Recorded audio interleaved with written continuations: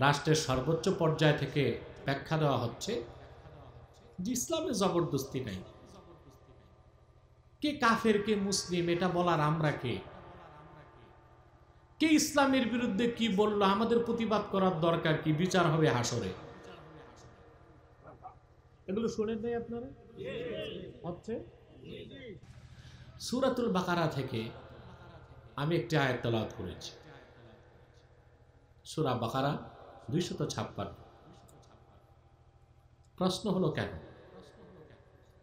এই অংশ থেকে কেন আলোচনা করব? আজকে আমাদের দেশে যে আয়াতের ব্যাখ্যা করতে যাচ্ছি, এই আয়াতটাকে উল্লেখ করে অনেক সুবিধাবাদী আলেম, তথাকথিত স্কলার, কিছু বুদ্ধিজীবী অপব্যাখ্যা করছে।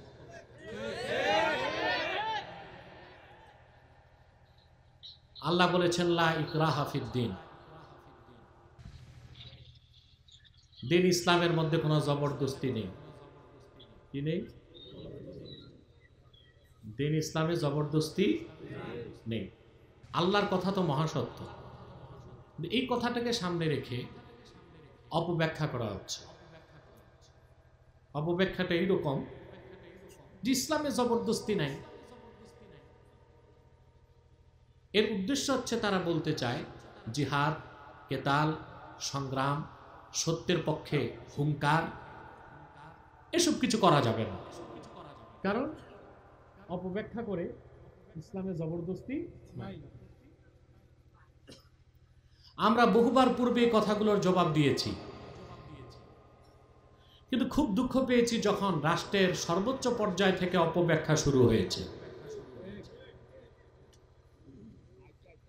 কথা বুঝতেছেন? রাষ্ট্রের সর্বোচ্চ পর্যায় থেকে ব্যাখ্যা দেওয়া হচ্ছে যে ইসলামে জবরদস্তি নাই। কে কাফের, কে মুসলিম, এটা বলার আমরা কে?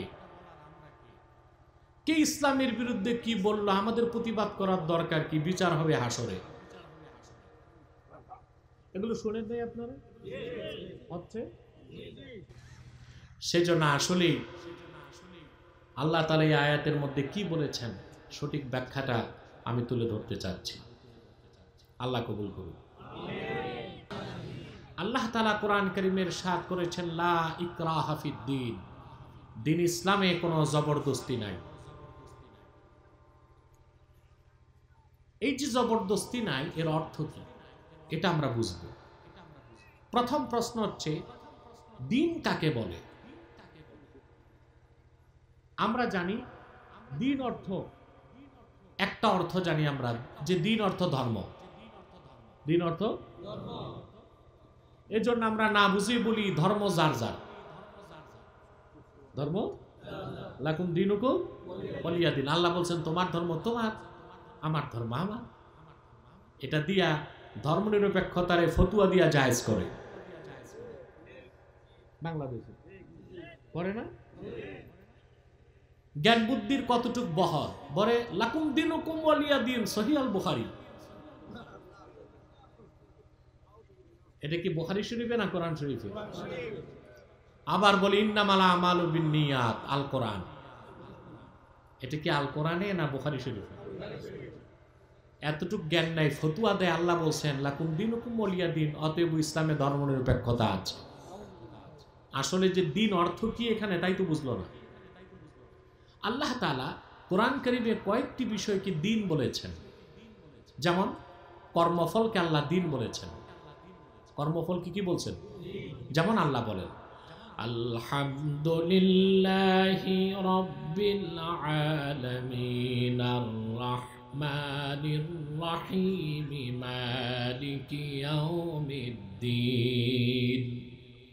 আল্লাহ হচ্ছেন মালিকি ইয়াউমিদ্দিন। এখানে দিন অর্থ কি ধর্ম? আই মালিকি ইয়মিল জাজা। আল্লাহ হচ্ছেন কর্মফল দিবসের মালিক। এখানে দিন অর্থ হচ্ছে কর্মফল। দিন অর্থ কি? কর্মফল। অর্থাৎ আল্লাহ সেদিনের মালিক, যেই দিন তিনি ভালো কাজের পুরস্কার দিবেন, খারাপ কাজের তিরস্কার করবেন। তাহলে দিন অর্থ কি? এখানে দিন অর্থ কি? কর্মফল। এখানে দিন অর্থ কর্মফল। একই কথা আল্লাহ সুরা কাফিরুনে বলেছেন, লাকুম দিনুকুম ওয়ালিয়া দিন। মোহাম্মদ আলাইহি সাল্লাম আপনি কাফের মুশরিকদের উদ্দেশ্যে বলুন, লাকুম দিনুকুম ওয়ালিয়া দিন। এখানে দিন অর্থ জাজা, অর্থাৎ কাফেরেরা, তোমরা যে মোশেক পত্তলিকতায় লিপ্ত, সে শেরকের জন্য তোমরা আল্লাহর পক্ষ থেকে শাস্তি পাবা। আর আমি যে আল্লাহর ইবাদত করছি, সেজন্য আমি আল্লাহর কাছে পুরস্কার পাব। এইখানে দিন অর্থ কর্মফল। এই জন্য আরবিতে বলা হয়, কামা তাদিন উতুদান যেমন কর্ম, তেমন ফল। As you sow so you reap তাহলে দিন শব্দের একটা অর্থ কি? আরে কথা বলেন। কর্মফল। আল্লাহ সুবহান হওয়া তালা কোরআন শিবের আরেক জায়গায় দিন শব্দ থেকে অর্থ নিয়েছেন তাআত, আনুগত্যকে।